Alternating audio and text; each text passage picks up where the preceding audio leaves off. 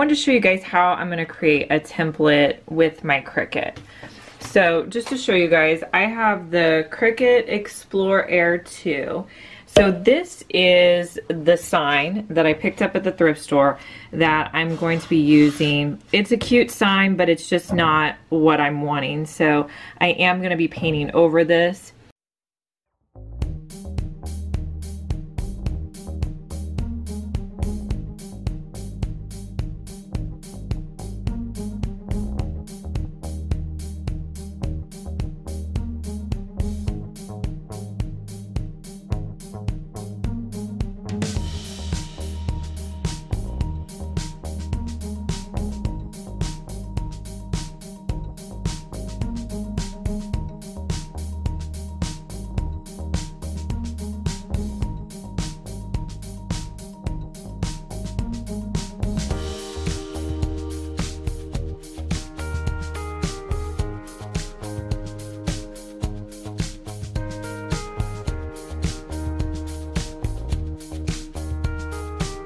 I found a template online. So right now, this is my cutting mat. So I want to see how much room I have.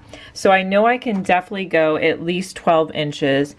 And then coming down, I don't want it to be more than 9 inches.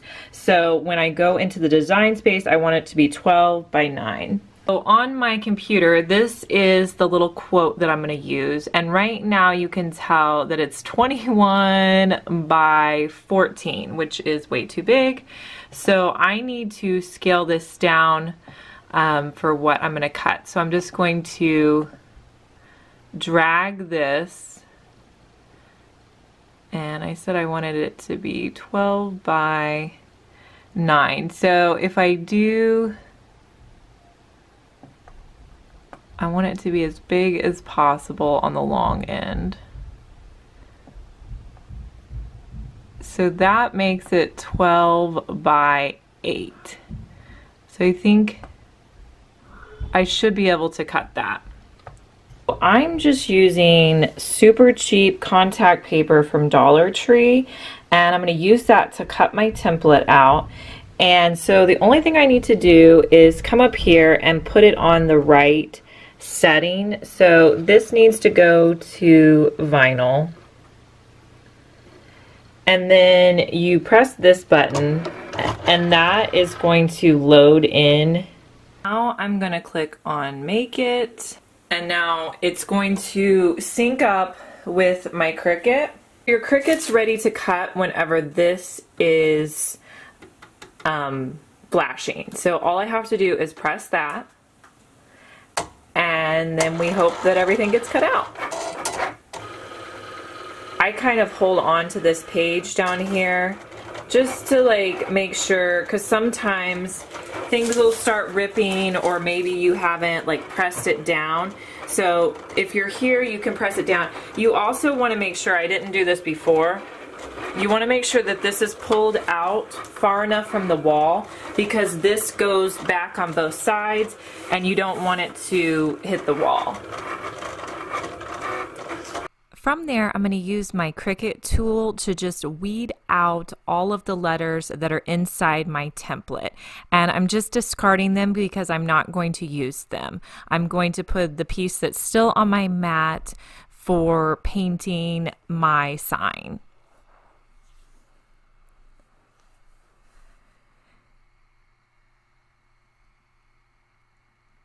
Once I get all of the letters weeded out, I'm just going to pull this off of the backing that I used to cut it out. And then I'm just going to cut the excess at the top so it's easier to put on my stencil.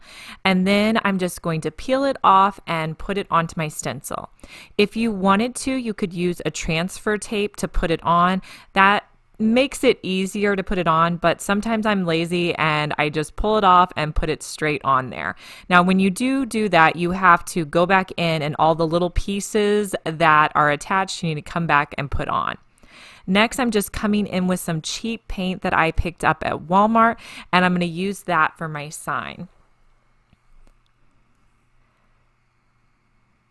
And I am just going to be lightly dabbing in two thin coats. It's better to do two thin coats when you're painting versus one big coat because it's going to get gloppy and nobody wants that. So do one coat, let it dry, and then come back in with another one. And then while it's still pretty much wet, you can take your stencil off. And I'm going to just start in one corner, pull it off easily. And then you'll just have to go back in and take the little areas out that were in the stencil. From there, I decided I wanted to add some beads around the border. So I shopped around and I ended up finding these beads at Michael's. And for this whole container, it was $8, which seems like quite a bit. This pack came in three different sizes and I ended up using the larger ones all around. So I figured I used about a third of the package to do this sign. And then I'm just hot gluing them in place with my hot glue gun. I'll link in the description box where you can pick up my hot glue gun.